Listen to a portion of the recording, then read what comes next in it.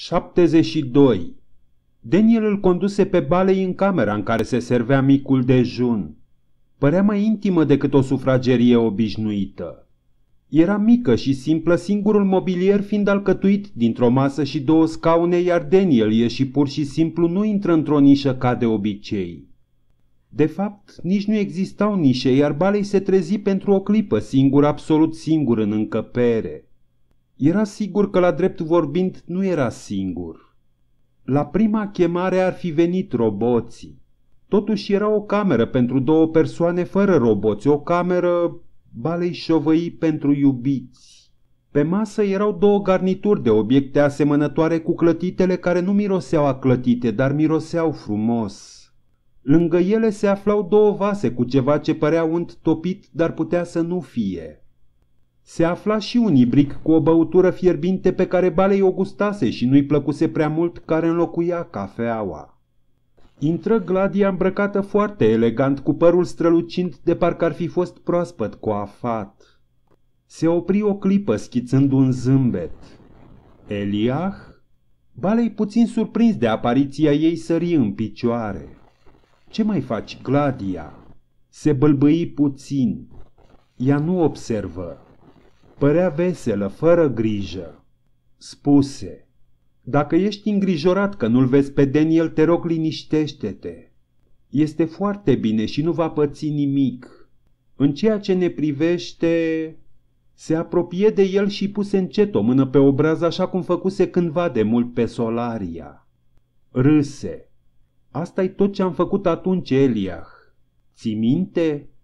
Eliah dădu din cap în tăcere. Ai dormit bine, Eliah? Stai jos, dragă. El se așeză. Foarte bine. Mulțumesc, Gladia. Șovăi o clipă și se hotărâ să nu întoarcă mângâierea. Nu-mi mulțumi mie. De săptămâni n-am dormit așa de bine și n-aș fi dormit dacă nu m-aș fi dat jos din pat după ce m-am convins că dorm buștean. Dacă aș fi rămas așa cum am vrut, te-aș fi plictisit toată noaptea și nu te-ai fi odihnit, spuse ea. El își dădu seama că trebuie să fie politicos. Sunt unele lucruri mai importante decât odihna Gladia, zise el, dar pe un ton atât de oficial încât ea râse din nou. Bietul Eliach spuse, te jenezi. Faptul că ea își dădea seama îl deranjă și mai mult. Balei se așteptase la remușcări, dispreț, rușine, indiferență prefăcută, lacrimi, orice în afara atitudinii ei sincer erotice. Ea vorbi din nou. Ei bine, nu mai suferi atâta. Ți-e foame. Abia dacă ai mâncat seara trecută. Ia niște calorii și o să te simți mai în putere. Balei privine încrezător înspre clătitele de pe masă. Gladia zise – o, probabil că n-ai văzut așa ceva. Sunt delicatese de pe Solaria. Pachinca. A trebuit să-mi reprogramez bucătarul șef ca să le fac așa cum se cuvine. În primul rând, trebuie să folosești grâu importat de pe Solaria. Speciile de pe Aurora nu sunt bune și sunt umplute. De fapt, există o mie de umpluturi, dar asta e preferata mea și știu că și ție o să-ți placă. Nu-ți spun ce mai are în ea, în afară de piure de castane și de puțină miere, dar gustă și spunem ce crezi. Poți să o iei cu mâna, dar fii atent cum muști din ea.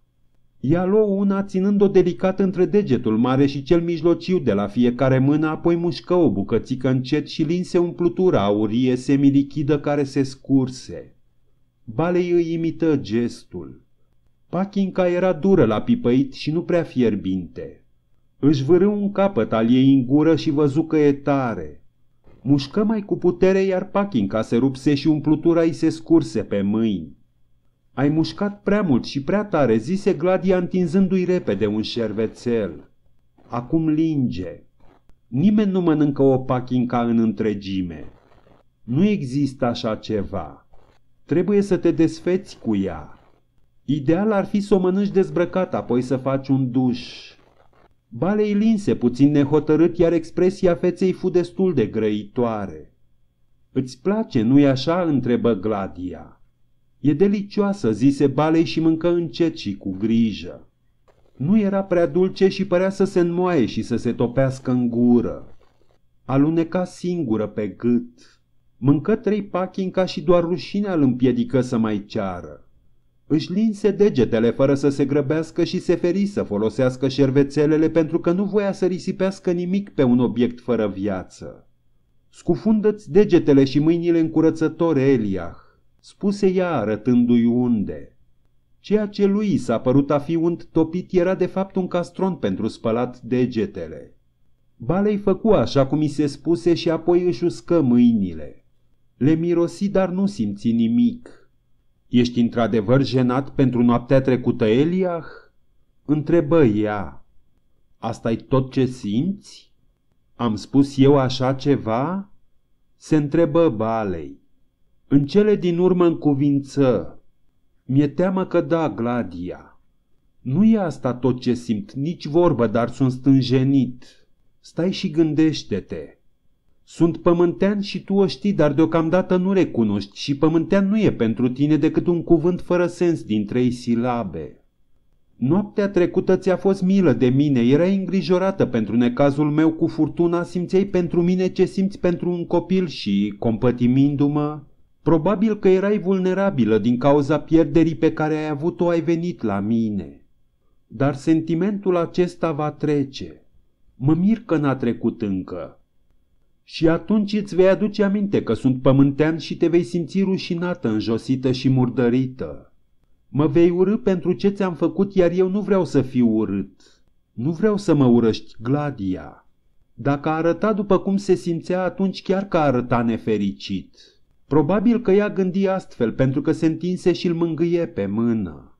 Nu te urăsc, Eliah. De ce aș face-o? Nu mi-ai făcut nimic pentru care să mă supăr. Eu ți-am făcut și voi fi fericită toată viața pentru asta. Acum doi ani m-a eliberat cu o atingere, Eliah, iar noaptea trecută m-a eliberat din nou. Acum doi ani trebuia să știu că pot simți dorința, iar noaptea trecută a trebuit să știu că pot simți dorința din nou după jander. Eliah, rămâi cu mine. Ar fi... El o întrerupse cu seriozitate. Cum s-ar putea Gladia? Trebuie să mă întorc în lumea mea. Am îndatorire acolo și tu nu poți veni cu mine. N-ai putea trăi așa cum se trăiește pe pământ. Ai murit din cauza bolilor de pe pământ.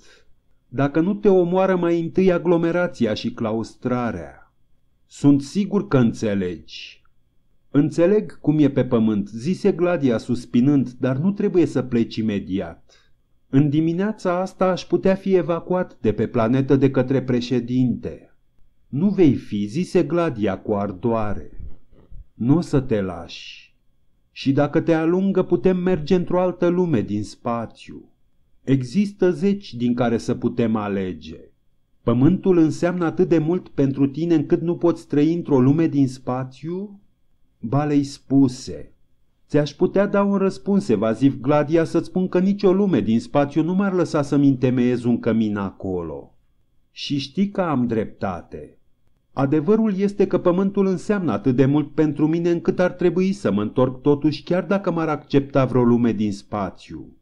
Chiar dacă asta ar însemna să te părăsesc și să nu mai vizitez niciodată Aurora, să nu mă mai vezi niciodată, dacă te-aș putea vedea, iar aș face-o, zise balei cu pasiune.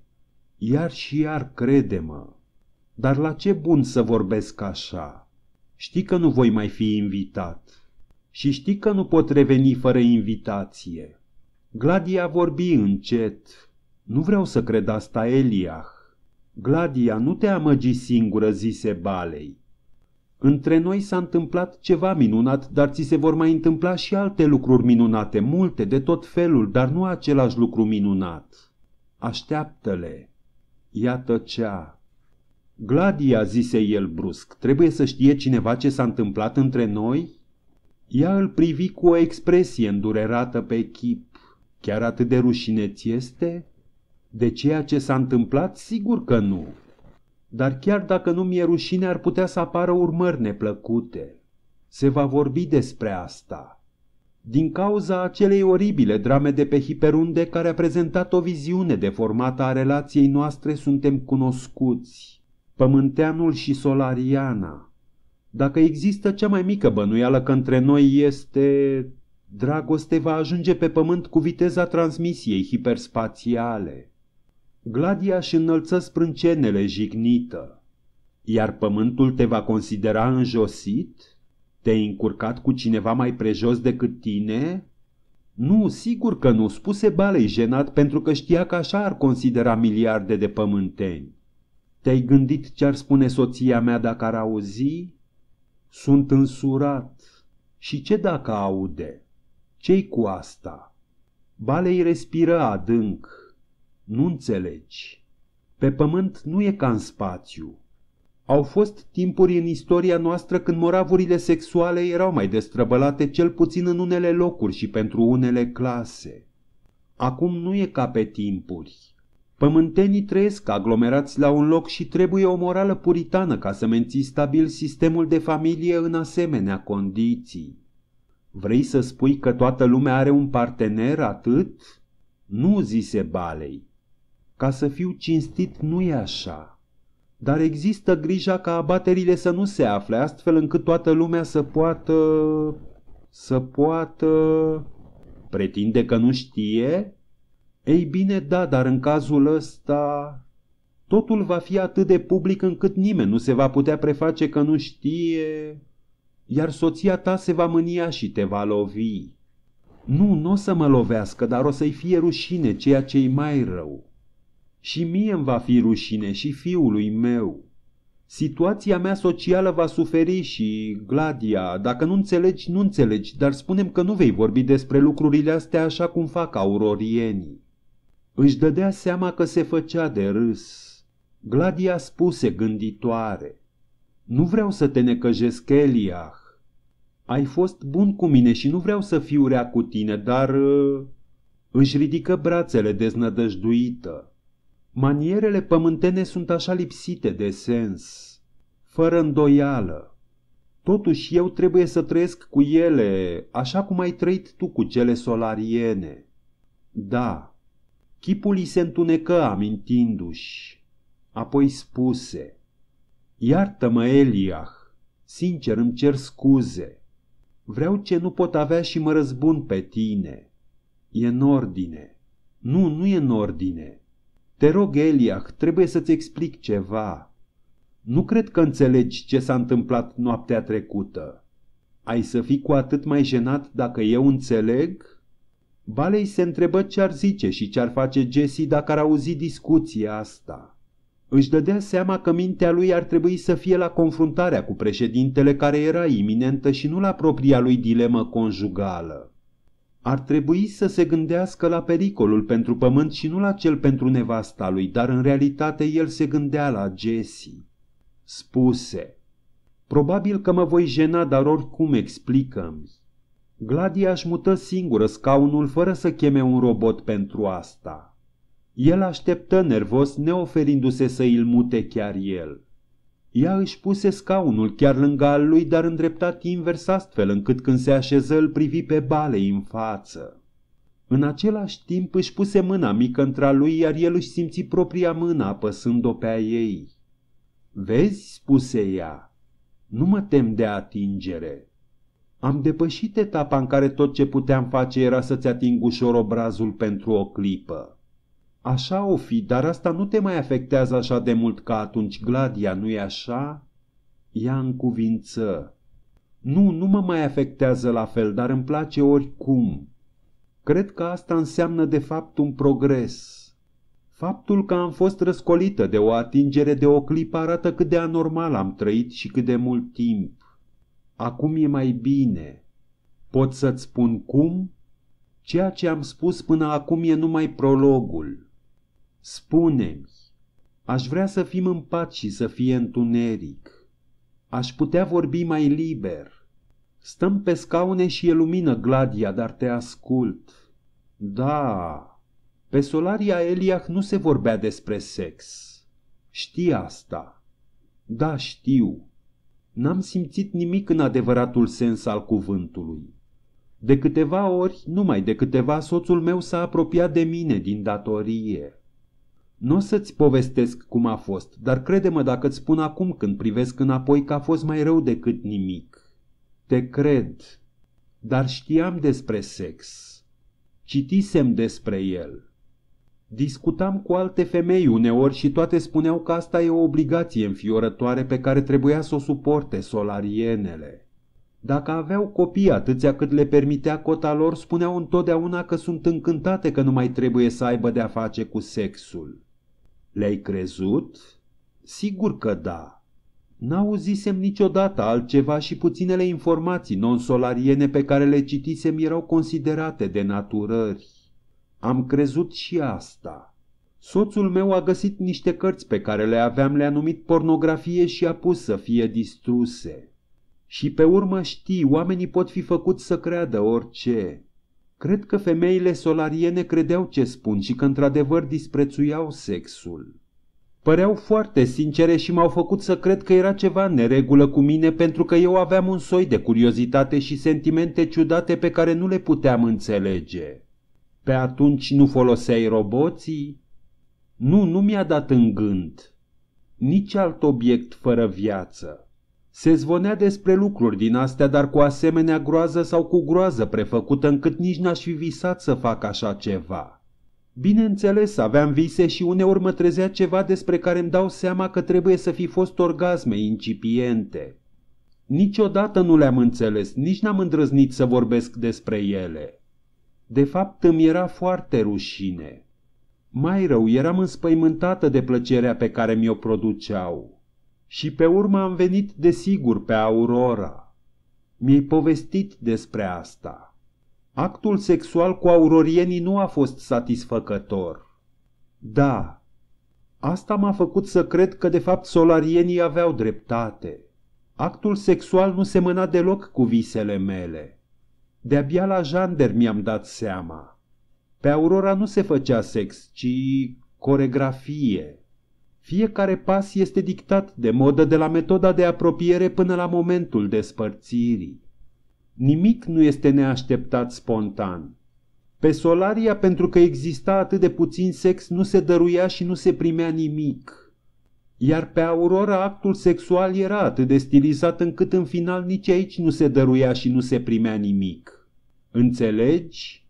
Nu sunt sigur, Gladia, pentru că n-am încercat niciodată actul sexual cu o femeie de pe Aurora sau mai bine zis pentru că nu sunt un bărbat de pe Aurora. Dar nu trebuie să-mi explici. Am o idee vagă despre ceea ce vrei să spui. Ești grozav de stânjenit, nu-i așa? Nu într-atât încât să nu pot asculta. Dar apoi l-am întâlnit pe Jander și am învățat să mă folosesc de el. El nu era un bărbat de pe Aurora. Singurul lui scop, singurul lui scop posibil era să-mi facă plăcere. El dăruia, iar eu primeam și pentru prima oară am simțit actul sexual așa cum ar trebui simțit. Asta înțelegi? Îți poți da seama ce înseamnă să înțelegi dintr-o dată că nu ești nebună, depravată sau perversă, că nici măcar nu te înșeli, ci să știi că ești femeie și ai un partener care te satisface? Cred că îmi pot da seama. Și apoi, după un timp scurt, să mi se ia totul. Am crezut am crezut că ăsta e sfârșitul. Eram condamnată. Niciodată în secole de viață nu voi mai avea o relație sexuală bună. Că nu avusesem până atunci era destul de rău. Dar să o primesc pe neașteptate și să o am apoi dintr-o dată să o pierd și să mă întorc la nimic, asta era de nesuportat. Înțelege acum cât de importantă a fost noaptea trecută? Dar de ce eu, Gladia? De ce nu altcineva? Nu Eliach, trebuia să fii tu. Am venit și te-am găsit, Giscard, și cu mine și erai neajutorat. Într-adevăr neajutorat. Nu erai inconștient, dar nu-ți stăpâneai corpul. A trebuit să fii ridicat, dus și pus în mașină.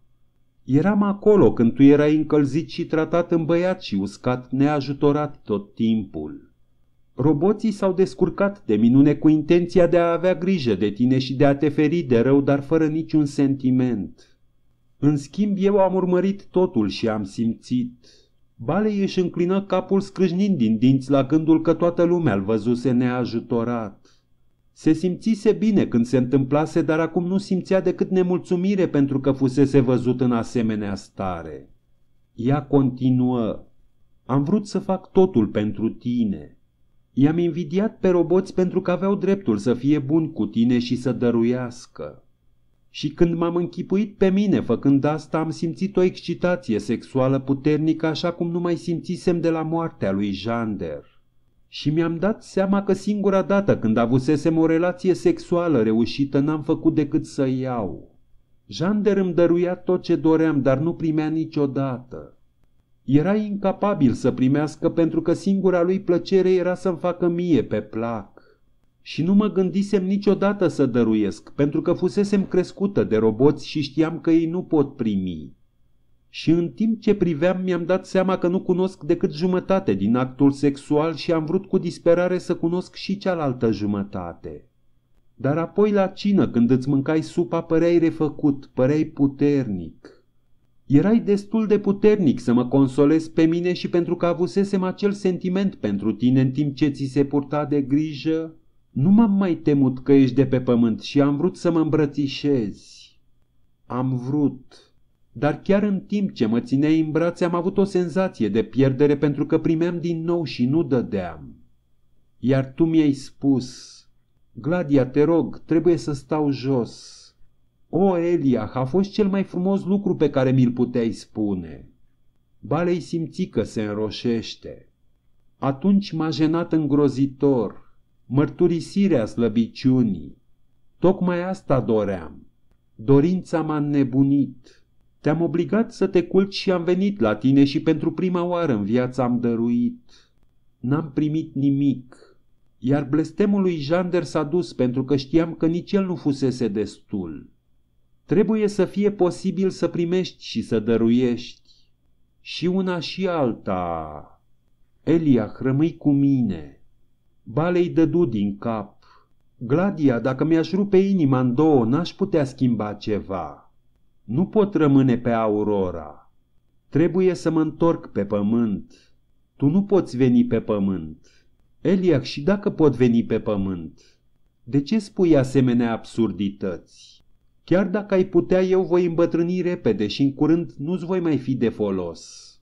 În 20 de ani, cel mult 30, eu voi fi bătrân, probabil mort, în timp ce tu vei rămâne așa cum ești secole întregi. Dar tocmai asta e, Eliah. Pe pământ mă voi molipsi de bolile voastre și voi îmbătrâni și eu repede. Nu cred că vrei așa ceva. În afară de asta, bătrânețea nu e o boală. Numai că te vei îmbolnăvi foarte repede și vei muri. Gladia, poți găsi alt bărbat. Un aurorian vorbise cu dispreț. Îi poți învăța. Acum când știi cum să primești și să dăruiești, învață-i cum să facă și una și alta. Dacă îi învăți, ei vor învăța? Unii da, cu siguranță că da. Ai așa de mult timp să găsești pe cineva care să învețe. Este nu se gândi, nu e bine să vorbesc de Gremionis acum, dar poate dacă va veni la ea mai puțin politicos și cu mai multă hotărâre... I-a păru că se gândește. E posibil? Apoi privindu-l pe balei cu ochii ei albastru cenușiu umezi. O, Eliah, nu ți amintești de nimic din ce s-a întâmplat noaptea trecută? Trebuie să recunosc, spuse balei puțin cam trist, că unele lucruri sunt supărător de neclare. Dacă ți-ai aminti, n-ai dori să mă părăsești. Nu vreau să te părăsesc, Gladia. Numai că așa trebuie. Și pe urmă zise, ea părea atât de fericit de împăcat. M-am cuibărit pe umărul tău și am simțit cum îți bate inima la început repede, apoi din ce în ce mai încet, numai că te-ai sculat imediat. Ții minte asta? Balei tresări și se trase puțin înapoi, privind-o nebunit în ochi. Nu, nu mi-amintesc asta. Ce vrei să spui? Ce am făcut? Ți-am spus. Te-ai sculat dintr-o dată. Da, și pe urmă... Inima îi bătea repede, probabil la fel de repede ca noaptea trecută. De trei ori ceva care semăna cu adevărul venise la el, dar prima și a doua oară fusese absolut singur. A treia oară noaptea trecută fusese Gladia cu el. Avusese un martor. Gladia răspunse. Nimic altceva, zău. Eu am spus, ce este Eliac, dar nu mi-ai dat atenție.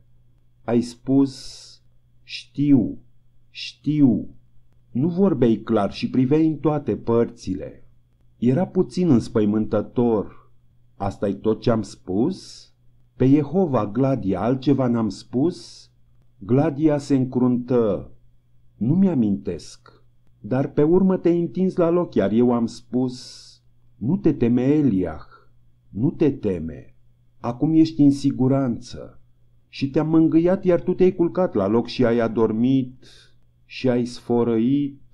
N-am auzit pe nimeni sfărăind vreodată, dar asta trebuie să fi fost gândul o distră vizibil.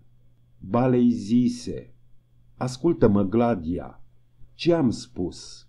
Știu, știu, n-am spus și ce știu? Ea se încruntă din nou. Nu, nu mi-amintesc. Stai, ai spus ceva foarte încet. Ai spus el a fost acolo mai întâi. El a fost acolo mai întâi. Asta am spus? Da. Am crezut că vrei să spui că Giscard a fost acolo înaintea celorlalți roboți că încercai să-ți învingi temerile că vei fi răpit că retrăiai amintirea furtunii. Da, da, de asta te-am mângâiat și am spus. Nu te teme, Eliah. Ești în siguranță acum până ce te-ai liniștit. El a fost acolo mai întâi. Acum nu mai uit. Gladia, mulțumesc pentru noaptea trecută. Mulțumesc că-mi vorbește acum. Gladia zise. E curios când spui că Giscard te-a găsit primul. Te-a găsit. Știi doar. Nu poate fi asta Gladia. Trebuie să fie ceva ce nu știu, dar reușesc să descoper doar când mintea mi este absolut relaxată. Dar ce înseamnă atunci? Nu sunt sigur, dar dacă asta am spus trebuie să însemne ceva. Și am o oră și ceva să descoper. Se ridică. Acum trebuie să plec. Făcuse câțiva pași spre ușă, dar Gladia alergă la el și îl îmbrățișă cu brațele. Așteaptă Eliah. Balei șovăi apoi se aplecă să o sărute. Rămaseră îmbrățișați multă vreme. Te voi mai vedea, Eliah? Balei răspunse cu tristețe. Nu știu. Așa sper. Și plecă să-i caute pe Daniel și pe Giscard ca să se pregătească pentru confruntarea ce urma.